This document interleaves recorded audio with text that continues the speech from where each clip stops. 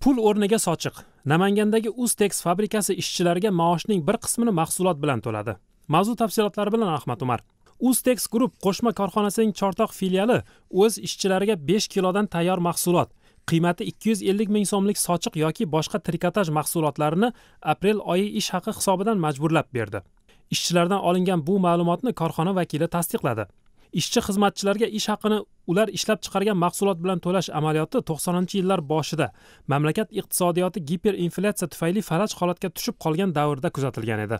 Ustex chortoqda yetti yuz ming so'm maoshga tikuvchi bo'lib ishlaydigan ayol yigirma yettinchi aprelda ozodlikka kuni kecha fabrika rahbariyati har bir ishchi besh kilodan mahsulot olishi kerakligini evaziga oyligimizdan ikki yuz ellik ming so'mdan ushlab qolinishini aytishdi deb xabar qildi.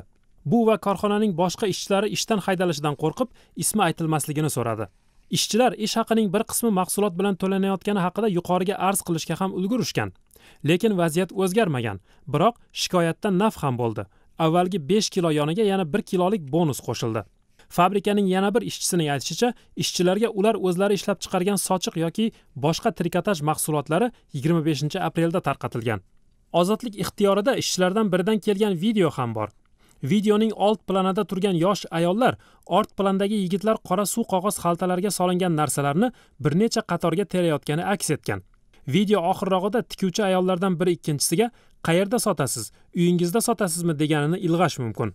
Ustex chortoq rahbariyati telefonini ko'targan lekin o'zini tanishtirmagan xodim ishchilar ish haqining bir qismi mahsulot bilan to'langanini tan olar ekan bu amalni karantin sabablari tufayli eksport to'xtab qolgani bilan izohladi.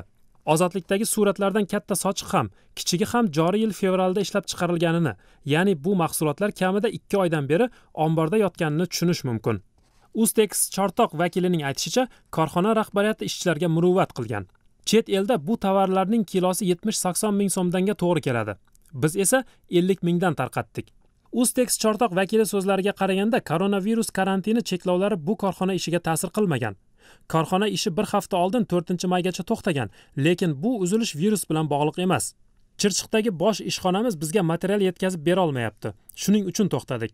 Korxona ishchilaridan birining aytishicha to'rtinchi maygacha davom etadigan ishdagi uzilish kunlari uchun ularga haq to'lanmasligi aytilgan.